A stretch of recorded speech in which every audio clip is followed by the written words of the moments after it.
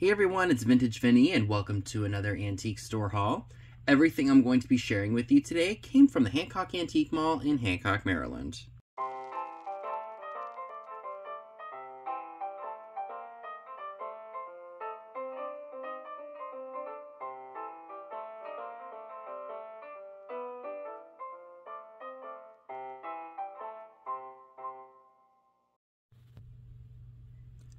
So I spent just about $200 on everything you're going to be seeing in this video today. I do apologize in advance if this was not up yesterday. I did the sale with Tammy, Dave, D, and Scott Thursday night. And I just didn't have the motivation to do the video afterwards because I was tired and, you know, the holiday season, just, there's a lot to do. So, anywho, um, items that you're going to be seeing from the haul, um, drops by midnight, hopefully, should be in the sale um, Saturday evening. Some of it will be, not all of it. Um, and anywho, let's go ahead and jump in. So, Booth was having a 75% off sale, and I, I know that a lot of people have these already, but I just, I couldn't leave them for how much they were. So, they were 75% off and already low price. So I had to have them. They're the Homco fairy lamps. I probably won't offer these up. I'll probably just do a flat price on them. So, like I said, I just couldn't leave them for how inexpensive they were. I mean, they were inexpensive already, but they went even cheaper. So I just, you can't leave certain things. And that was the case with this. Same thing with these Anchor Hocking maple leaf dishes. I got four of them. And when the 75% off sale ran, it basically was the price of what one of them cost originally. So I got all four of the dishes for what one cost originally. So that was something, again, I just couldn't leave. And then over here, we have four Hazel Atlas Modern Tone Sherbet Bowls. As you can see, they're kind of dirty, but those will be cleaned. More than likely, I'll be saving those for a sale that I do with um, Scott of the Old Curiosity Shop because uh, the deco stuff and the art and the depression glass usually does better when I sell it with him on his channel. So that might be up for grabs later on. So not only do I look for things to sell and to keep for my own collections, but I also like to look for usable items for the household. So I spotted these Kingsford grill lighters, and they were originally sold at Kmart for $6.99 each. So essentially $28 for the four of those if I bought them new at Kmart.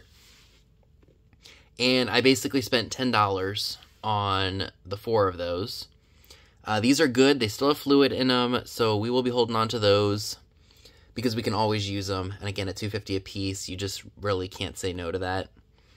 I also picked up a towel, a nice orange towel. This is newer. Um, it was made by a company called Splash. I tried to look them up to see how much their stuff goes for. Uh, that was only a dollar. And all you gotta do is throw that in the wash, and it is as good as new. So it's always a good idea to look for things that you can use, um, or maybe a gift for someone else. So definitely keep your eyes peeled when you go to places like that that sell everything. Alright, so some more fun stuff. These I actually bought for my mom. It's Clinique Take the Day Off Makeup Remover. Uh, those were a dollar a piece. I think they retail for about four or five a bottle, so a dollar each was a pretty good deal, and uh, she does use this stuff, so always got to keep an eye out for things like that, because sometimes stuff in retail stores is not exactly cheap. So I spotted these. These are OXO brand um, adjustable measuring cup sets. Uh, they're not in the packaging, like brand new in their packaging, but they are brand new with the instructions. So those will be up for grabs on eBay, and I believe I can get about 30 for those. Some beauty products. Um, Mary Kay, sometimes some of the discontinued stuff does really well. Uh, looked this up in the store. This is the Deep Cleanser Formula 3, and I think I can get about 20 to $25 for that. And this is a brand I've never seen before. This is Frutia.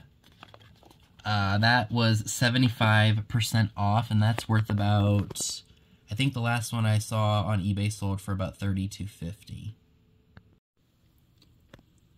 Alrighty, some more modern items, and then we'll jump into some of the really cool vintage. Uh, this is just a candle holder. It's got a lighthouse on it. You guys know me and my coastal. So I thought that was cool. That actually didn't have a price on it. So I brought it up to the register, told them what booth I got it out of, and they called the dealer, and um, they quoted me three. So I went ahead and took that. Uh, it does hold a standard um, Yankee candle. Uh, this is not one that came with it. This is one that I've had a while.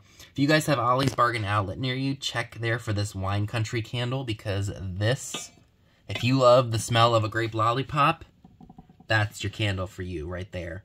And they retail, I think, about $7.99. So if you are looking for it, check in that candle aisle for the Wine Country. It is amazing.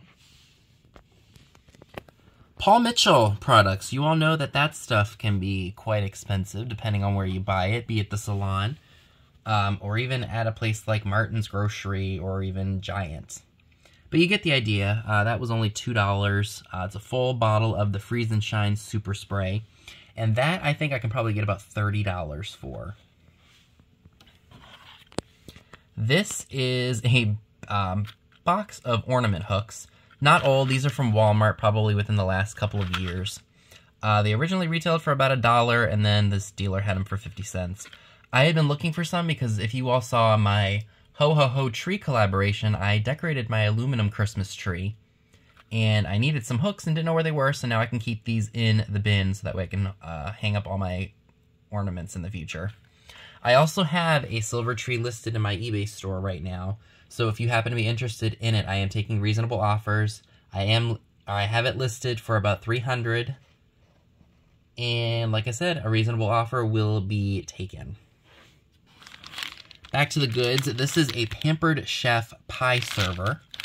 Um, Pampered Chef, I think, is one of those MLM companies. So, like, you sell it yourself. You don't um, run through, like, um, you know, like, um, a corporation like Walmart or something. So it's one of those things, it's like self-employment is, I guess, the word I'm trying to say. So it's brand new in the box, or in the packaging, I should say. And that, too, is also worth about $30. So that should be up for grabs in my store, hopefully by tomorrow. Or actually later today, since I'm filming this. Friday night and into Saturday. Alright, so now I've got some more vintagey type stuff, which is what I know you all love to see.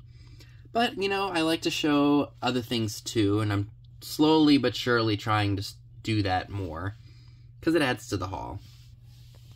So this is awesome. This is a ceramic Christmas tree. It's got the little base. It's a tiny one.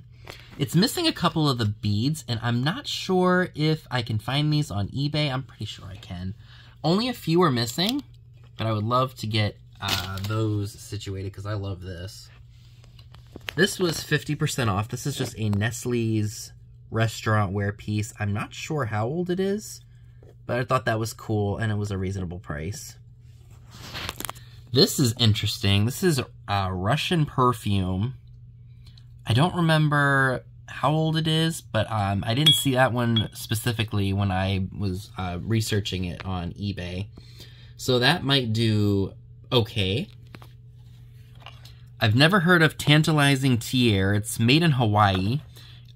I don't know um, how old it is, but it's got a barcode on the box, so it can't be terribly old.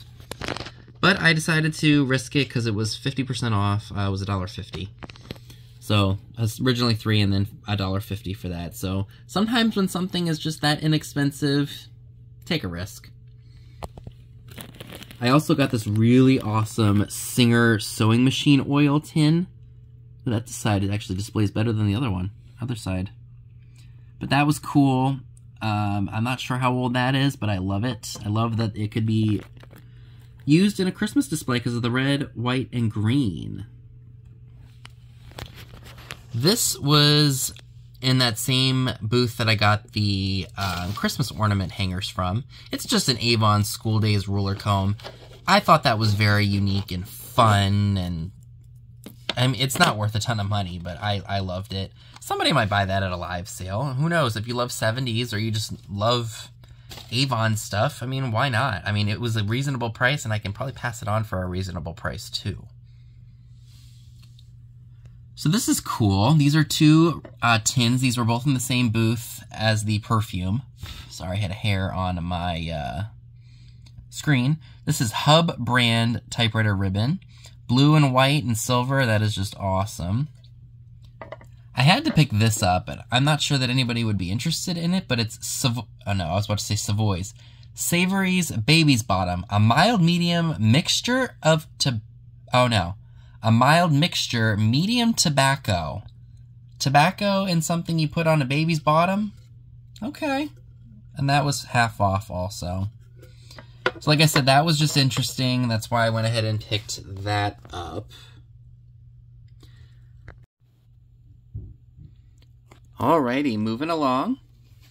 I did find this really awesome mid-century, oh, I don't know if it's mid-century, stocking. It's got the name Brian on it. Santa coming out of the chimney. I thought that was really cool. I also got a couple planters. This one's a donkey, or a pack mule. Almost looks like a Scotty dog from the side, depending on how you look at it. I loved this zebra, and my mom was uh, looking at all the stuff that I bought, and she's like, I think I want to keep this downstairs because she liked it just as much as I did. And that was 50% off, same with the donkey.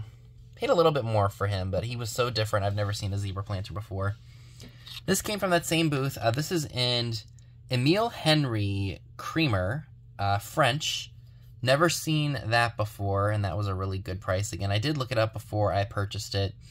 I'm thinking maybe $25, $30 for that. I could be wrong. I also picked up the Collector's Encyclopedia of Stangl Pottery. Uh, that came out of a booth that was 70% off. So I had to pick that up because I know you all like your identification books. Some of them I keep for me and some of them I pass along to you all. And then I even got this really nice little wooden box opens up, it would be a great little storage piece for like greeting cards or anything really. And it was 50% off. Got a few places where it needs to be touched up, but that's still a really nice piece nonetheless. A few more fun items.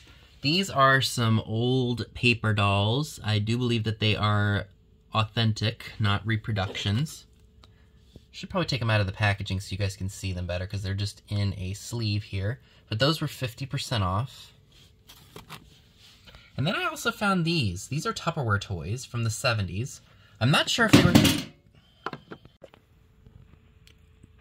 Alright, so moving right along. These are Tupperware toys. I'm not really sure what they were originally for, if they were to stack on top of each other it doesn't appear that way. Uh, they were really inexpensive, so I just decided to take them and see what they were. It looks like it's supposed to be a train of some sort because you hook it here, yeah. So maybe it's just parts. I don't know if anybody would want them just because they it may not be complete. And again, I'm not sure if anything is supposed to um, go on top of here. I don't think so. But it also came with this piece right here, and it doesn't fit. But anywho, they were interesting, and I decided to take them, and they were only two bucks. So if somebody wanted them just for memory purposes, that's perfectly okay. Or they have other pieces, and they're just missing these. Who knows? You just never know. and then I found these pieces. These are old paper dolls, definitely from the turn of the century this off of here. As you can see, the gentleman, the dapper gentleman, is unfortunately ripped, but I can tape that no problem, and then this is one of his coats. I just thought those would be good for the ephemera book, because you all know I have a nice one going. I probably should share that with you all, along with my junk jars. Y'all have been asking for a while, and I keep forgetting to film a video. Um, I'm more than likely... I don't know what I'm going to do just yet. But I thought you all might like to see those. I can probably tape that, no problem. So I did pick up some pieces of ephemera because they were priced really well and they were even on sale. So this is awesome. This is a Grand Union Supermarket um, needle book. Here is, if I can do this one-handed. Nope, apparently not. Here we go.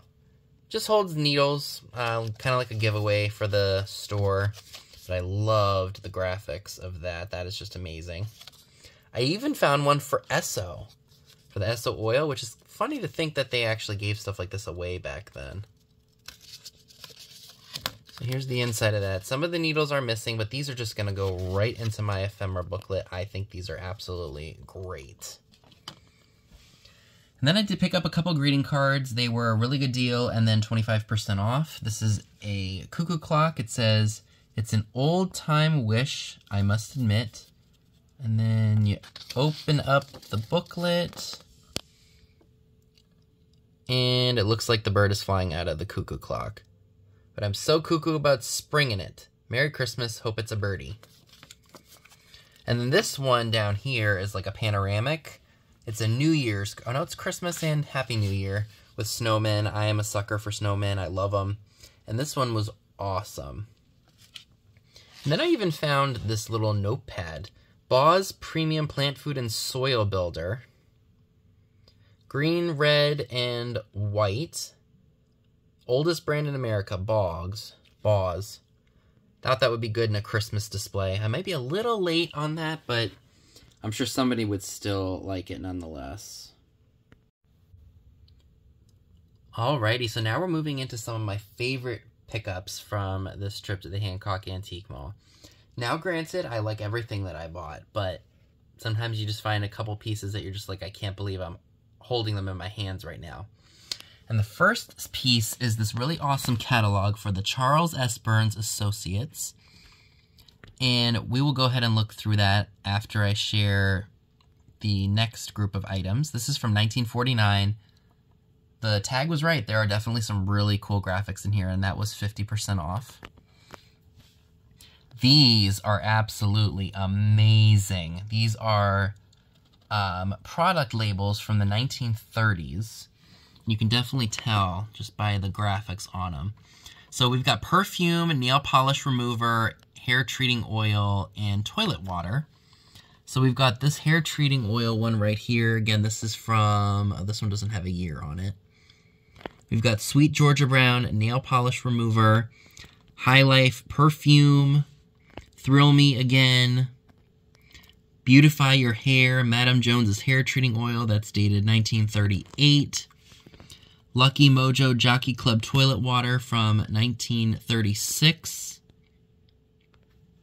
And then my favorite, which is extremely deco, Sweet Georgia Brown's Skin Perfume from 1936. How amazing is that? And I got those for $4. So those are definitely going to go in my ephemera book. I cannot wait to have those in there. All right.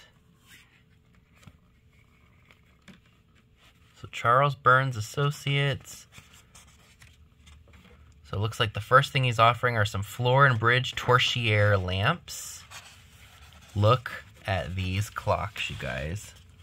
How stinking cool. So I guess it was kind of like a stamps kind of a thing where you saved up a bunch and then a catalog was sent out and then you could turn in your stamps for these items. So extremely cool. Sandwich grills and waffle irons, toaster ovens, carafes, irons, mirrormatics, pots and pans, heating pads, mixers, radios and bedding and lamps and the whole nine yards. I mean, this book is just absolutely cool, and I'm happy to have it in my possession. Alrighty, so we're down to the last three items for this video, and these items are pretty darn cool. So this is awesome. Uh, if you guys don't know, I do collect the old metal lunchboxes. I'm not crazy about the ones from the 80s. Some from the 70s are alright. Um, this one is the Zorro lunchbox from 1958. It was a Disney show. Annette Funicello actually starred in it as a teenager because she had a crush on Guy Williams. Not because she had a crush on Guy Williams, Disney offered her a part. And yeah, so that's really cool. Uh, that was originally $65. Would I have paid that? Probably not. Uh, it was 70% off, so I only spent $19.50. So this is the front of the mag front of the magazine, front of the lunchbox. Here's the back. A little bit rusty, but you know what? 65 years old and it being in this shape, I'd say that's pretty awesome. And then I also found this really killer cool blue speckled Hall pitcher. Not a pitcher, I'm sorry, a basket. It is marked Hall USA on the bottom. Now this was a little bit up there in price. Uh, it was originally $36, so I got it for 18 I did look it up to see what they were going for. One did sell for $7.50, but the shipping price was high. So I went ahead and picked it up, knowing that I'm going to be selling some of the items in here and pretty much, hopefully, making my money back and profiting. So I decided to splurge a little bit and buy this for myself because I do love it. I love the color and it's just amazing. And I didn't have to pay shipping on it. So I still think 18 was pretty fair for that. And considering, like I said, what I bought to sell, it should I should definitely do pretty well and at least pay down what I've kept for myself. So those were two of the three of my last items. I hope you all like this next item because I certainly do. This is awesome, you guys. This is a 1939 New York World's Fair scrapbook. There are no contents as this is just a unused piece, but I loved the images and the graphics of the cover. I just thought this was awesome. I did pay $20. It was originally 40 and then the uh, booth was half off. But I've never ever seen one of these before and I um, was showing my mom all the stuff that I got, and um, I showed this to her last, and she absolutely loves this piece. She said if she would, she would be framing this and putting it up in the house because she loves the World's Fair stuff, and she loves the graphics, she loves the font of the letters, she just loves it. I love it. So this, I may actually wind up finding a frame for this because I think it is just so fantastic. And it's not something you see every day, at least not me. I mean, maybe some of you all have seen them before, but I certainly haven't. So I am thrilled to be able to own this. And folks, that is everything that I would like to share with you all from my trip to the Hancock Antique Mall let me know down below in the comments section what were your favorite items. Were there some things you would have picked up, some things you wouldn't have picked up? Let me know down below. Thanks so much for watching.